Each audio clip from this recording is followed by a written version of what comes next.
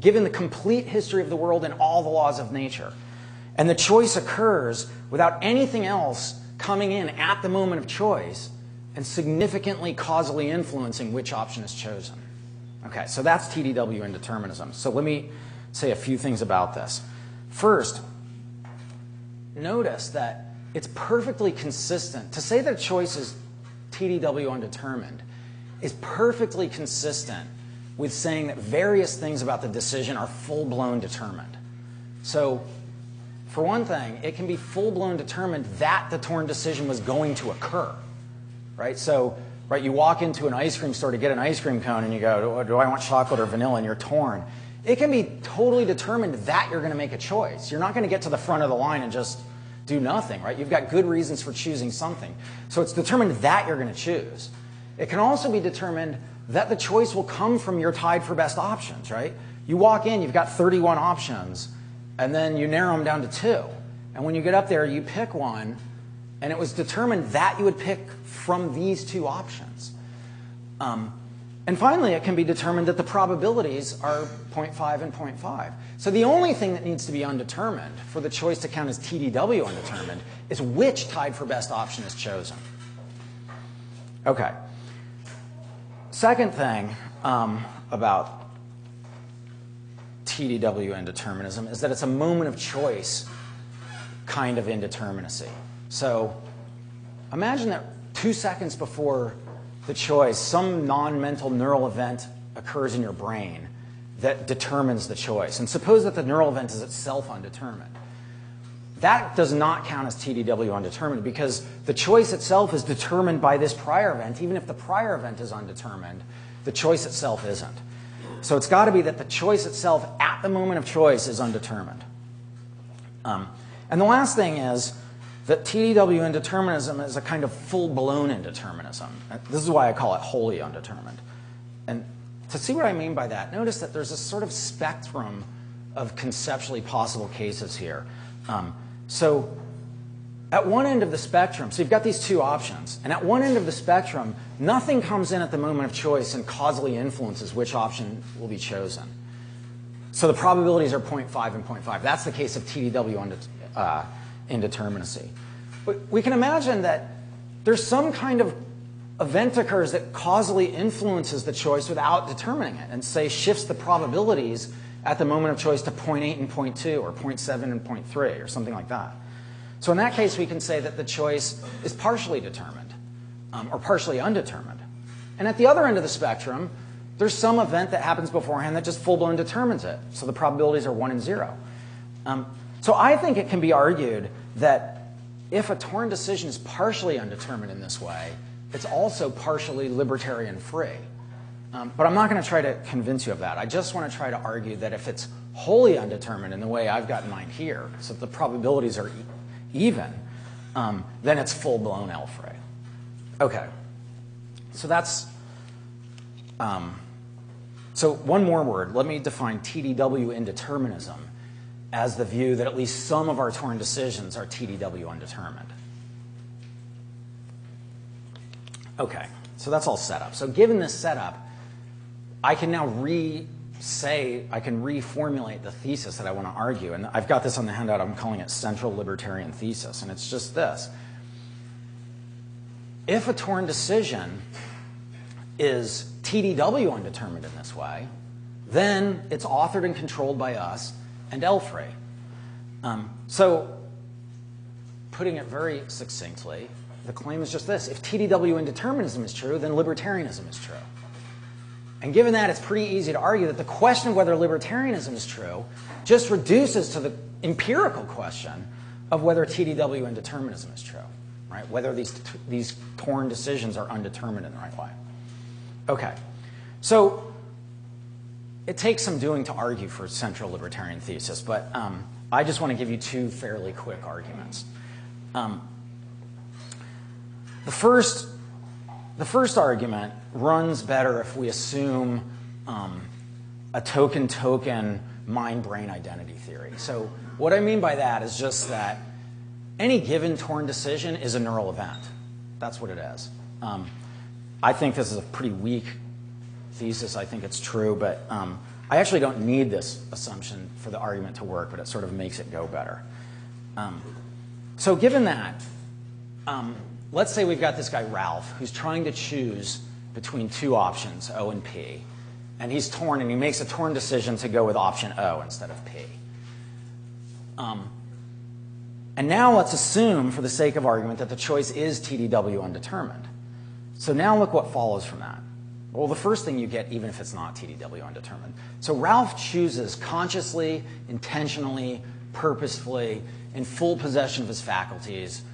The choice is a conscious choosing event, right? It's a, it's a me choosing now event with that kind of phenomenology. That's what it is. It's also a neural event, but it's also this Ralph consciously choosing event.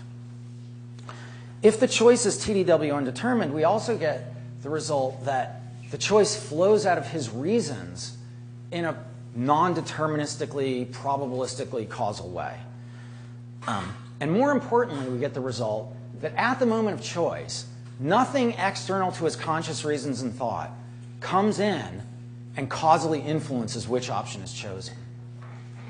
Nothing comes in and has any significant causal role there. So we've got, it looks like we've got two results here. We've got Ralph did it, right? It is a Ralph choosing event, and nothing made him do it. So if you have Ralph did it and nothing made him do it, it looks like that's enough for an interesting kind of authorship and control. So there's one little argument. And notice that the, notice that the indeterminacy here is giving you the authorship and control because um, it's the TDW indeterminism that's guaranteeing that nothing made him do it, right? The conscious phenomenology gives you that it's a Ralph choosing event. The lack of an external determining cause gives you that nothing made him do it. So the indeterminism is, is giving you the, um, the non-randomness, which is what you need for libertarian freedom. Okay. Second little argument. This, this argument's based on the phenomenology of torn decisions, or how they feel to us. Um, and, and here's how they feel.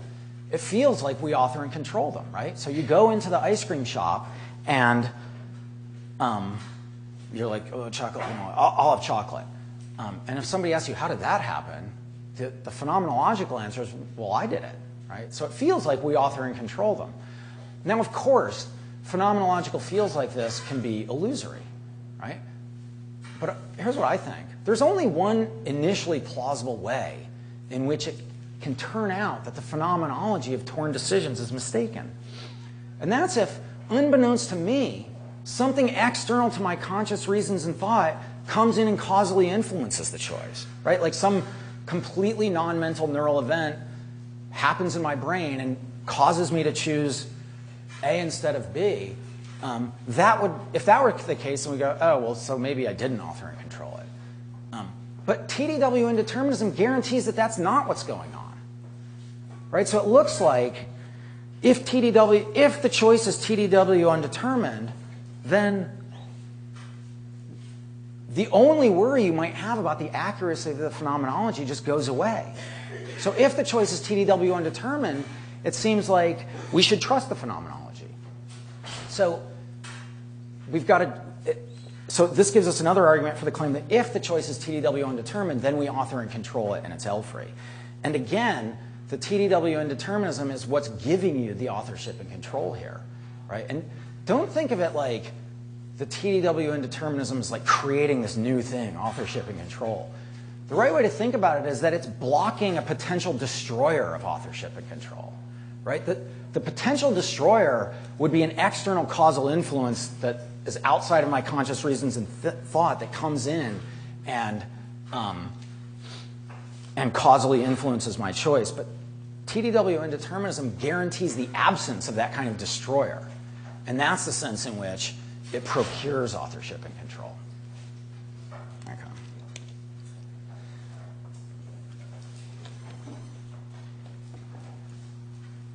Okay. So there's two admittedly very quick arguments. Um, now I want to um, just talk about a few objections you might have. So one objection is a sort of famous objection to various kind of libertarian views that people call the rollback objection. And the argument goes like this.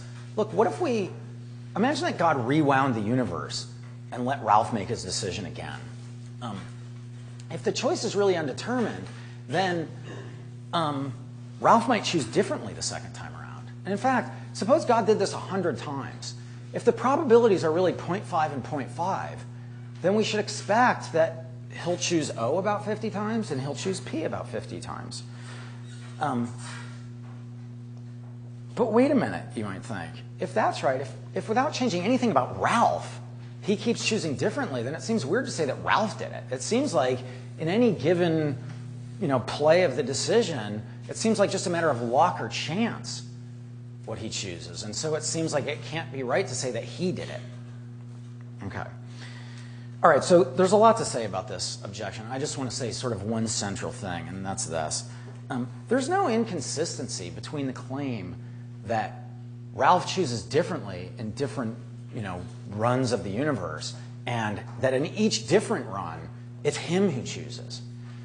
There's no inconsistency there. In fact, there's not even a tension. I want to try to show you that they actually, the two things fit together perfectly, right? And here's why.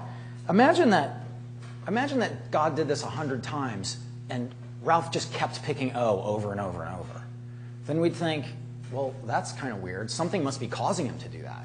And since his conscious reasons and thought aren't causing it, something else must be causing it. Um, but if he chooses differently every time, then we'd think, given that he's torn, that fits perfectly with the thesis that it's him who's doing it because he's torn, right? So it seems to me that if we actually ran this experiment and he really chose O 50 times and P 50 times, given that he's torn, that wouldn't undermine the thesis that it's Ralph who's doing it. It would confirm the thesis because the thesis predicts that he'd choose differently in different runs of the decision. Okay, so there's a few words about the rollback objection. Another objection um, so this is an objection that Derk Pereboom raised to a view like this that I, when I ran an argument like this in a, in a recent book on this stuff. And on the handout, I'm calling it the agent causal objection. And the objection just goes like this. Look, the notion of control that you're working with is too weak. Um, to say that Ralph controlled which option is chosen um, is to um, say that he caused that option to be chosen. So it looks like control requires agent causation. And since you don't have anything like that in your view, you're not giving us real control. Um, so a couple things. I, I, think it can actually be argued that the notion of control actually doesn't require agent causation. Um, but I don't want to try to convince you of that. I, I just want to point out that it, it, doesn't matter whether the notion of control requires agent causation because, um, well, think of it this way. Uh, we can just give, we can just stipulate definitions for two different kinds of control. Right? We can call them AC control and non-AC control for agent causal control and non-agent causal control. And agent causal control, define it however you want, it's, it requires agent causation somewhere. Non-AC control is just the kind of control I'm talking about. It's the kind of control you get in a torn decision um, when you've got a conscious choosing event and nothing causally influencing which option's chosen, so that the choice itself, the conscious choice itself, is the event that settles which option is chosen. So, given this, we've got the result that when Ralph makes this choice, he non AC controls which option is chosen, but he doesn't AC control it. So you might think, oh, so what we need to do is figure out what real control is. Is real control AC control or non AC control or something else? Um, but I don't think libertarians need to care about this question. Um, I mean, first of all, it strikes me as a terminological question, so it couldn't be that important. But um, more to the point, it's look, I don't. I'm not trying to argue that if torn decisions are undetermined in this way, then they're authored and controlled by us and libertarian free and like the only senses of these terms that anyone's ever cared about. Um, I'm just trying to argue that if they're undetermined in this way, then they're authored and controlled by us and libertarian free in sort of interesting and important ways that are worth caring about and worth arguing for, and that libertarians can hold up and go, look, there it is, a kind of libertarian freedom. Um, so, so I just don't need the result that, that I'm getting the one, you know, one and only kind of control. Um, now, don't take me to be saying something stronger than I am here. I'm not saying that libertarians can define authorship and control and free will however they like, right? If they define them too weakly, then the claim becomes uninteresting. But so I need it to be that it's an interesting, important kind of authorship and control. But it seems to me that the argument I'm uh, the argument I'm giving is uh, delivering an interesting, important kind of freedom. I mean, go back to Ralph's decision. We've got the result that it's a it's a Ralph consciously choosing now event and nothing's influencing it. So that the, the, the conscious event itself with the event with the me choosing now phenomenology is the event that settles which option is chosen. It seems like surely that's at least an important kind of authorship and control. Okay, so there's a couple words of response to that Pereboom objection. Um, another objection, I'll try to be quicker with these last two. Um, you might think, look, who cares if the process is determined or undetermined? And this is, this is related to an objection that Dennett once raised to libertarian freedom. Um, if you uh, imagine that before the choice, every time you're torn, you're uh, in your brain or a little neural coin tosser, and um, the, the, little, the little device flips a neural coin and sends back a signal choose A or choose B. Um, so Dennett said, look, if that's how it works, who cares if this little machine over here is deterministic or indeterministic? It just doesn't seem to matter. And I want to say, yeah, if that's how it works, it doesn't matter because, um, because regardless of whether this little machine is determined or undetermined, it's an external causal influence on the choice, right? It's coming in and determining the choice. So it wouldn't matter if that kind of indeterminism was true. But it would matter if TDW indeterminism is true, because in that, in that case, you get the event that the conscious event is undetermined. Right? So there's, of course, still going to be physically, physical undetermined events here, um, presumably micro events, but in the, the view I've got, the physical undetermined events are going to be parts of the mental event, not prior to it. Right? So they're not going to be brutally physical, they're also going to be parts of this conscious mental event. Okay, so there's a couple of um, there's a couple of words about that. So the last objection is you might say, look, who cares about torn decisions, right? You said yourself that they're mostly unimportant decisions about whether to have eggs or cereal for breakfast. What's it matter? Um, so, two things. The first, which I don't really care that much about, is that they can also happen with big, important decisions.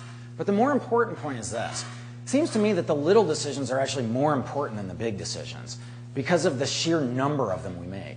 These are the decisions we make all the time. So it seems to me that the problem of free will is a problem for us because we feel pre theoretically, we have this pre theoretic feeling that we have a sort of everyday, all the time kind of freedom. Right? And that comes from this sort of mass of little decisions we make, right? We go, oh, eggs or cereal? Oh, eggs. Should I ride my bike or drive my car? I'll ride my bike. Should I go to the movies or work through work tonight? It's, it's this sort of constant flow of little decisions that sort of make this important to us. So if any one of these decisions turned out to be determined, and I think it's obvious that at least some of them are, um, it wouldn't really matter. But if they all turned out to be full-blown determined, it would matter, and I think it would be depressing in a way that would sort of be more depressing than if it just turned out that the three most important decisions of your life were determined. All right, so that's a, a few words about that. So, how much time do I have left? Ten more minutes. Ten more minutes. Okay. So, um, so so far I've uh, I've just tried to block this philosophical objection. If I'm right, if I'm right that the libertarian question reduces to the question of whether these decisions are undetermined in the right way, then the question becomes an empirical question. So you might ask so, do we have any good empirical reasons to believe that these choices are undetermined in this way or not? Um, and I think it's pretty obvious that we don't have any empirical reason to think that they are undetermined in this way. But you might think that there are good empirical reasons to think that they're just not undetermined in this way. So might, if I'm right, you might think we've got empirical evidence that libertarianism is false. Um, I think that's not right. I think that we don't have any good evidence here. So I think that it's an open empirical question whether these choices are undetermined in the right way. Um, and I just want to say um, a little bit about some of the arguments you might run here. And you know, I only have a few minutes, so I'm just going to be very brief about a few ideas. Okay, so here's my idea. You might think that we've got evidence that our choices aren't, our torn decisions aren't undetermined this way because we've got reason to believe some kind of determinism that rules it out. And what you can do is sort of start very generally and work into more narrow views that just work at torn decisions. So the most general idea is that TDW indeterminism is false because we've got reasons to believe universal determinism, that all events are causally necessitated by the past plus the laws. Um, but we, in fact, just don't have evidence for this thesis. Um, if universal determinism were true, then you know the basic layer of reality, the quantum layer of reality, would have to be determined. But um, quantum physics is an indeterministic science, right? And there are probabilistic laws. So there are deterministic interpretations of quantum mechanics, and if one of those interpretations is right, then there's sort of an underlying layer, and, and everything is determined. Um, but there are also indeterministic interpretations out there, and the problem is that right now, there's no evidence, there's no good evidence for believing any interpretation of quantum mechanics. So the question of whether um, all quantum events are determined or some are undetermined is just a wide open empirical question. Okay. Um,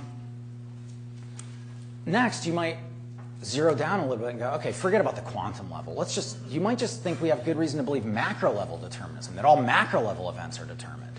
Or you might think we've got good reason to think that all macro level events are sort of virtually determined, where that just means that um, prior events and past laws made it sort of overwhelmingly likely that that event would occur. Um, and the argument you sometimes hear people give for this is sort of an inductive argument. Look, all the macro level events that we've encountered have been either determined or virtually determined, so they probably all are. Um, Ted Honderich runs an argument like this.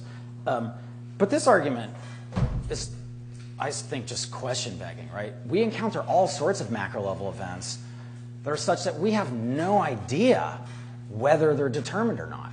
We have no idea how to construct a deterministic explanation for these events, right? So, I mean, you can just rattle them off quantum measuring events, decisions, um, coin tosses, fallings in love, all the, these events. We have no idea how to explain these in a deterministic way, especially given the idea that the quantum level of reality might be undetermined. Um, so, I don't think that kind of argument works at all. Next, you might zero down even more. Since torn decisions are neural events, you might just focus in on the head and go, we've got reasons to believe neural determinism. Um, but again, I think we just don't have reasons to believe neural determinism. If you open up a neuroscientific textbook, um, you'll see that various processes are treated probabilistically, like spike firing and synaptic transmission and the opening and closing of ion channels. And so, granted, these, have, these processes might turn out to be ultimately determined. Um, but we have no reason to think right now that they will turn out to be ultimately determined. They might be undetermined. Um, and it's no part of current neuroscientific theory that it's all deterministic. So, um, given that, we just don't have any reason to believe that all neural events are determined. And finally, you might zero all the way down to the psychological level and just try to argue that on, for, there's psychological reasons for thinking that, uh, that torn decisions themselves aren't. I mean, not psychological, but just you might focus in on torn decisions themselves and argue that we've got good reason to think that they're not undetermined in this way. So, I mean, one thing you might do here is appeal to sort of standard psychological arguments that show that we're sort of very often out of touch with why we do what we do, and our decisions are often influenced by um, subconscious uh, reasons. So I think that's all right.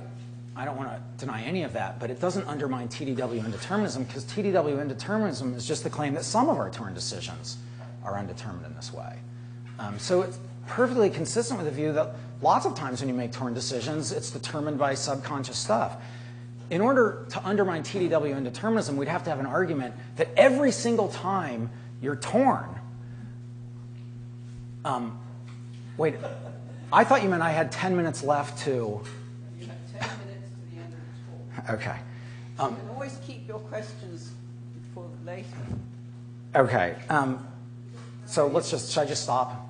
You can either stop now. How much, how much time is left now? What? How much time is left now? Five. minutes. All right, I was going to talk about Libet, but sorry, I misunderstood what you said. All right, go ahead. I'll stop. Questions?